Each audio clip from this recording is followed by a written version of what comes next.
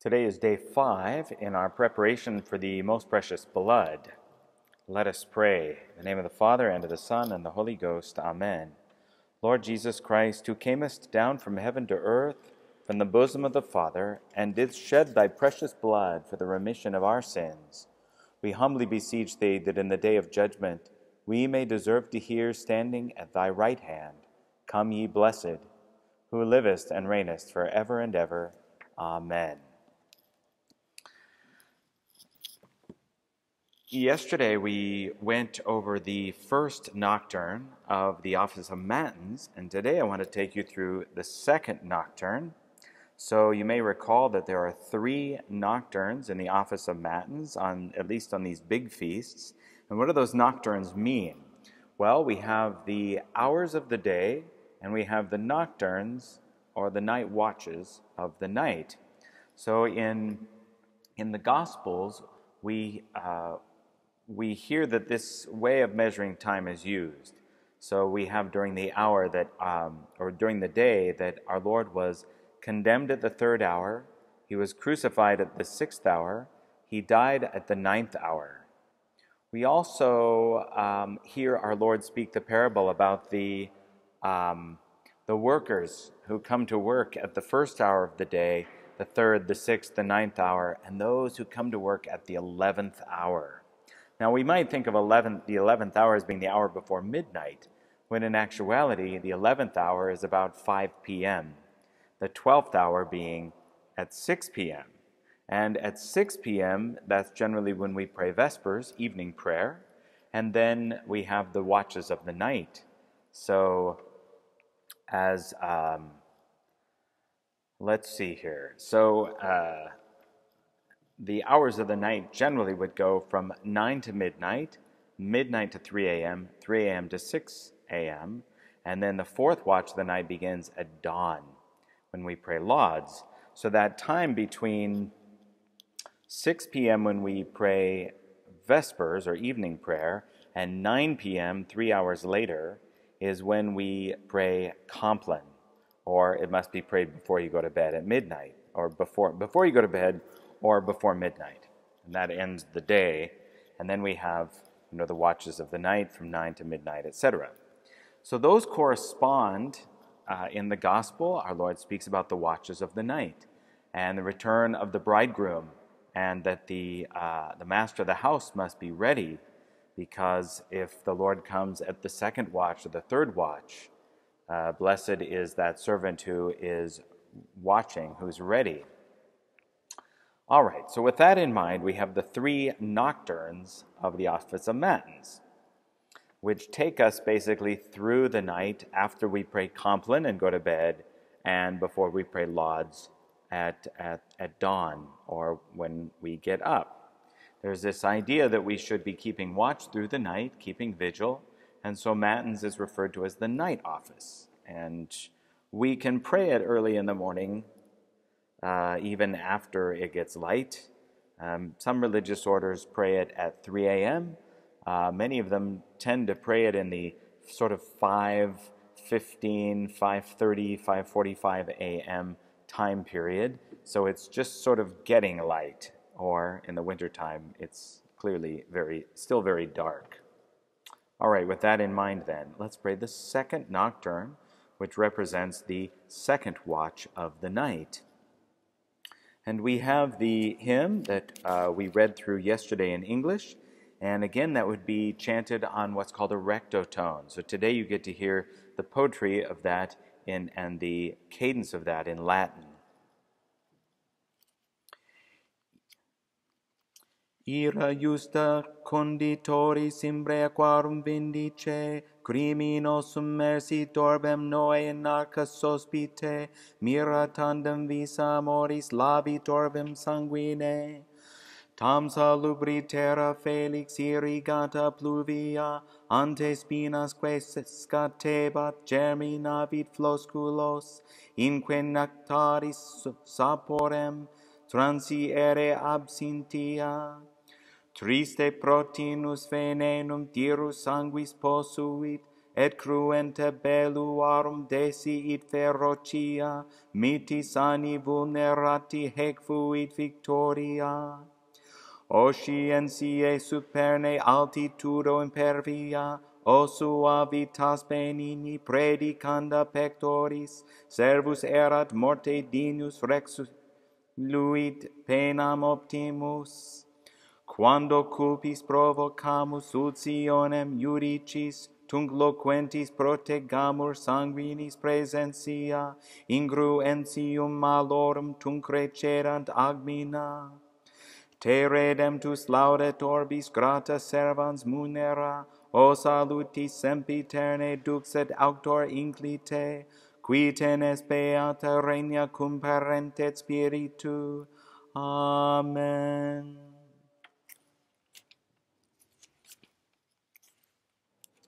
The second nocturne begins with the fourth antiphon. Pilate, wishing to satisfy the crowd, delivered Jesus to them scourged. And the fifth antiphon, seeing, however, that he was doing no good, he took, took water and washed his hands in sight of the crowd, saying, I am innocent of the blood of this just man. And the sixth antiphon, and all the people answered and said, his blood be on us and on our children. Psalm 63. Hear, O God, my prayer when I implore you. From the dread of the enemy, rescue my soul. You have sheltered me from the conspiring of the malicious, from the throngs of evildoers. For they have whetted their tongues like swords, have bent the bow, a bitter thing, to shoot from their ambush the blameless man. They shoot him suddenly and do not fear. They encourage one another in their wicked plan. They talk of hiding snares. They have said, Who shall see them? They have pried deep into evils, nor could they pry too deeply. Deep may a man's heart be, but God shall be exalted. The arrows of children shall be their plague, and their tongue shall falter and betray them. All who saw them trembled, and every man was afraid. And they proclaimed the works of God and understood his deeds. The just man shall rejoice in the Lord and hope in him. In him shall glory all the true of heart. Glory be to the Father, and to the Son, and to the Holy Ghost, as it was in the beginning, is now, and ever shall be, world without end. Amen. And all the people answered and said, His blood be on us and on our children. The blood of Jesus Christ, the Son of God, cleanses us from every sin. Sius pietas et misericordionis adivet, qui cum Patre Spiritus Sancta vivere et regnat in saecula saeculorum. Amen. Iube Domine benedicere, Deus Pater omnipotens et nobis propitius et clemens. May help come to us through the loving kindness and the mercy of him who lives and reigns with the Father and the Holy Spirit forever. Amen. Pray, O Lord, your blessing. May God the Father all-powerful be kind and lenient to us. Amen a sermon of St. John Chrysostom from the homily to the neophytes. Do you wish to know the power of Christ's sacred blood? Let us then review its Old Testament antecedents. Let us recall what prefigured it, listening to what sacred scripture says. Take the story of the tenth plague. The scene is Egypt, and God has foretold the death of all Egypt's for firstborn at midnight because they retained his firstborn people, but that his chosen nation would be spared, for they were living together in the same land. God devised a visible sign that would save them, a wonderful symbol, one which vividly brings home to us the power of blood. Now the divine wrath is striking the land. Now the destroyer is hurrying to every home. What does Moses do? He says, Slay a yearling lamb and smear the doorposts with its blood. Such advice, O Moses, is sheep blood capable of delivering a human being? Yes, he says. Not, of course, because it is blood, but because it foreshadows the blood of the Lord. And but thou, O Lord, have mercy on us. Thanks be to God. And we continue, Pray, O Lord, a blessing May Christ give us the joys of everlasting life. Amen. And St. John Chrysostom continues For just as the statues of kings, which lack life and speech, in times past delivered men with spirit and mind who embraced them, not of course because they were cast of bronze, but because they represented the king himself. Similarly, brute blood saved the Israelites not by its own merits, but because it pointed to the advent of divine blood. And the destroyer passed by the homes whose entrances were smeared with blood and dared not enter. Likewise, the devil must now flee from the soul sealed, not with the blood of an ancient type, but with the very blood of Christ, the divine Lamb. If the destroyer fled in terror from the mere figure, with what unimaginable, unimaginable, unimaginable fright will Satan shrink away when he beholds the true reality? Do you desire to learn another power of this blood?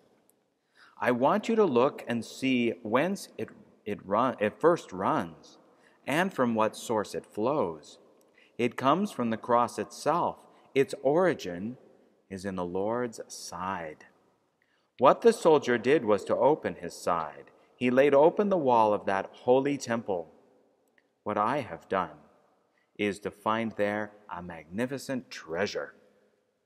I have found, I have had the joy of discovering shining riches.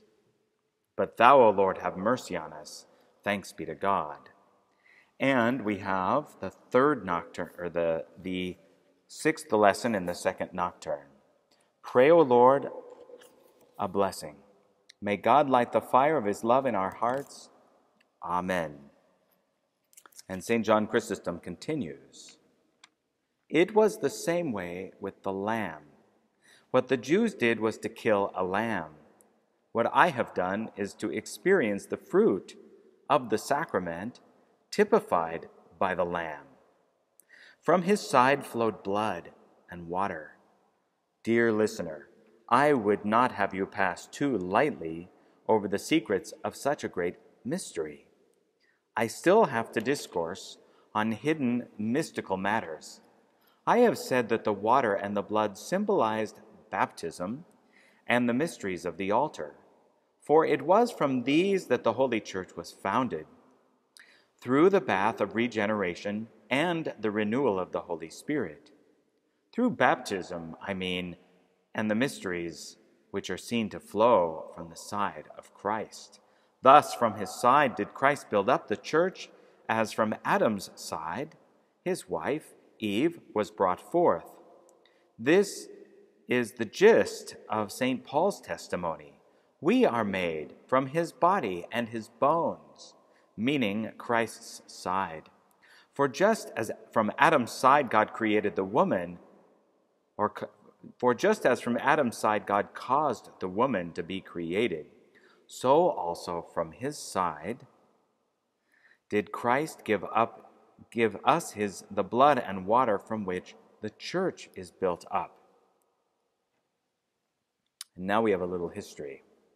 On the 1900th anniversary of the redemption of the human race, Pope Pius XI wished to celebrate a holy jubilee to honor such an unutterable benefit, and that more abundant fruit of that precious blood of the Immaculate Lamb, by which we were redeemed, might flow to men and its memory more vividly, and more vividly be brought home to the faithful, the same Pope raised the celebration of the most precious blood of our Lord Jesus Christ to the rank of a first class feast, to be celebrated each year by the universal church.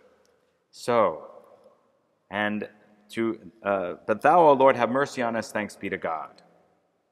So we see here that his recent is 1933, this feast that had been established nearly a century before was elevated to the highest rank of feast on the 1st of July, 1933.